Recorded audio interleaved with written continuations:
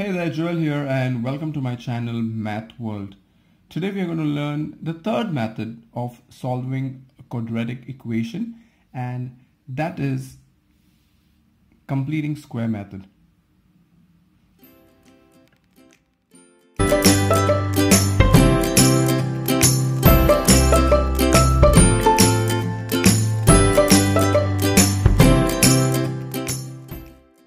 So I have an equation over here x square minus 6x plus 8 equals to 0. So before even you start solving completing square method, you have to check out whether the coefficient with x square is 1 or any other number.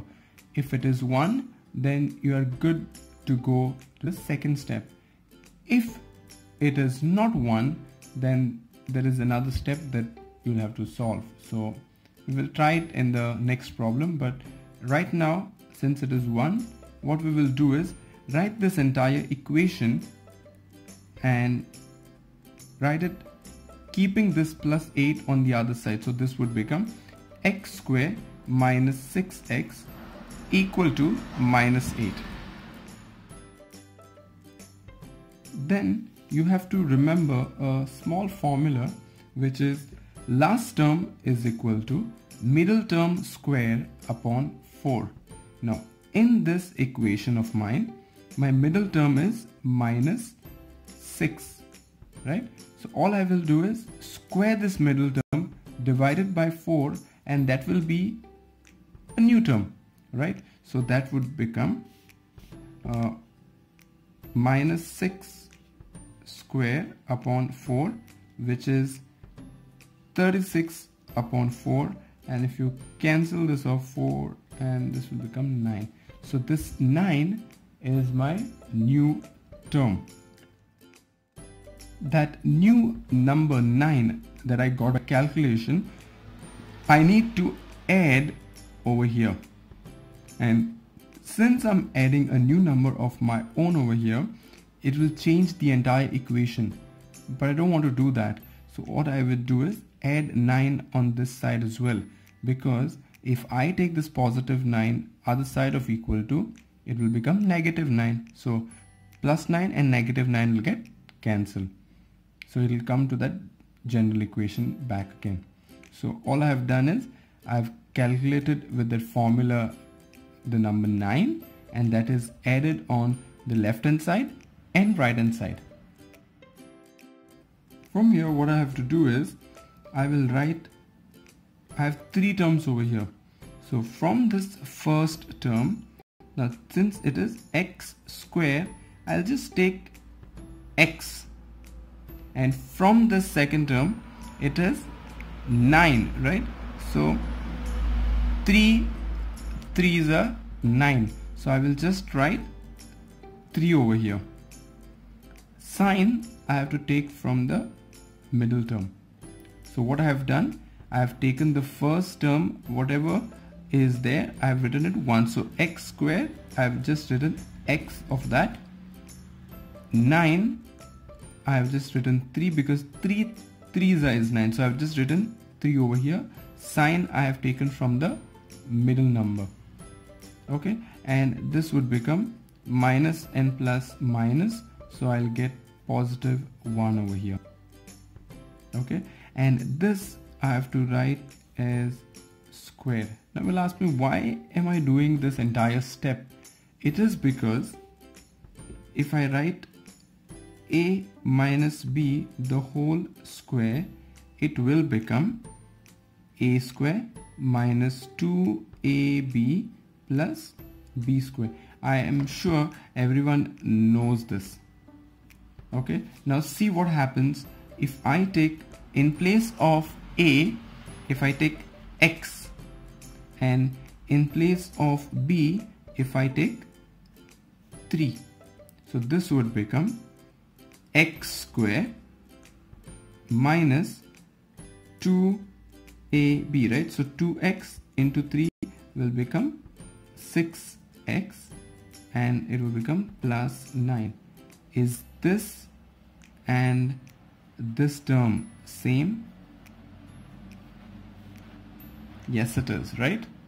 that's the reason I have taken this and written in this form. So it will become x minus 3 the whole square. You don't have to write all these steps. This is just for your understanding. How did I get x minus 3 from here? So coming back I will rewrite this for you. So I've written the entire equation again and I have to write x of this term because x square I'll just write it once. 9 will be written as 3 because 3 3s are 9 and sign of the middle term will be taken. And this will be put in a bracket with a square because a minus b the whole square will be this as my answer. And minus 8 plus 9 will give me 1 now the whole idea of solving this quadratic equation is to find the value of x. But if I try to find out from here um, I will be finding x minus 3 the whole square which I don't want. So all I will do is take a root sign over here and take a root sign over here.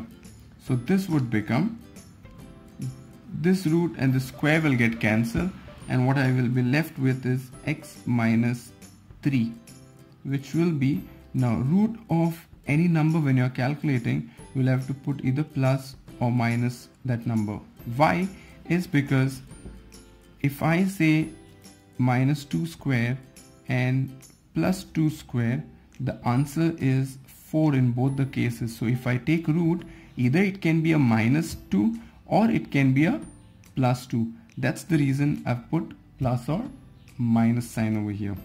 So this would become there are two possibilities right? So either it is plus or minus. So I'll have to write it as x minus 3 is equal to plus 1 or x minus 3 is equal to minus 1 so x 3 goes on the other side.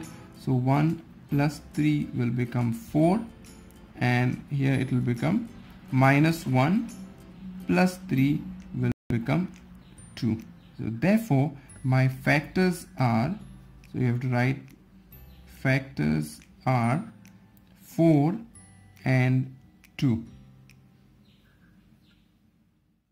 let us take another problem that is 2x square plus 5x minus 3 equal to 0 now I've told you that this term over here has to be 1 if it is not 1 then all I will do is whatever the number is over here I will divide it throughout the equation. So this would become if I divide this by 2 this by 2 and this also by 2 it would become I will write it again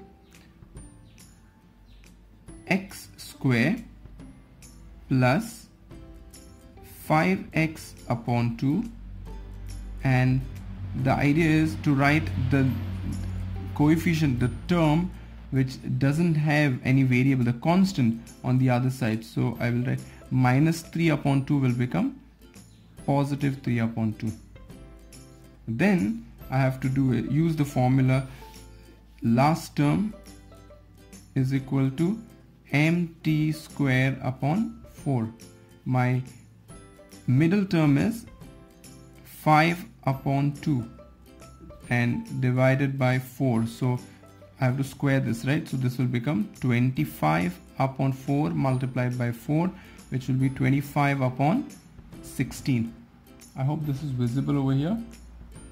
So this part.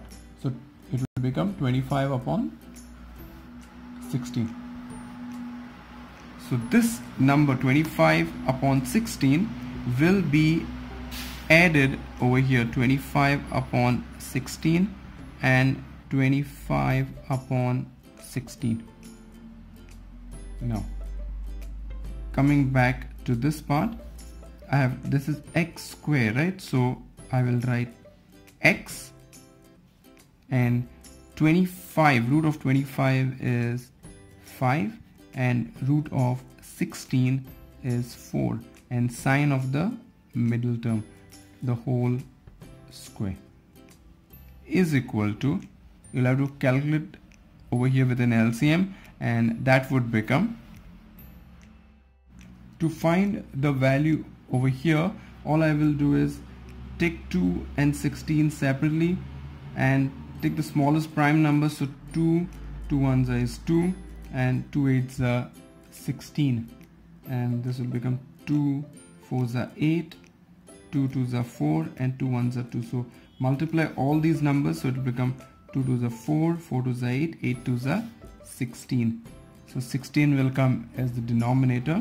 I'll take the first fraction 3 upon 2 multiplied by whatever number I've put in the denominator. So this will become 2 ones are 2 eights are and 8 into 3 is 24 then I'll take the second fraction that is 25 upon 16 multiplied by whatever number I've put in the denominator.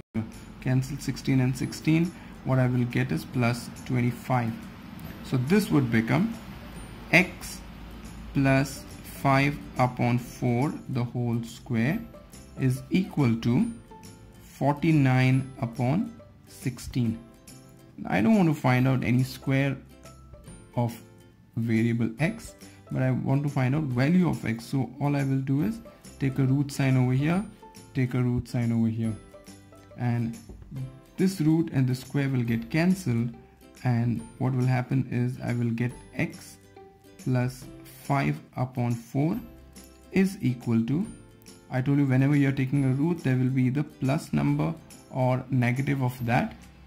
So this would become 7 upon 4 correct?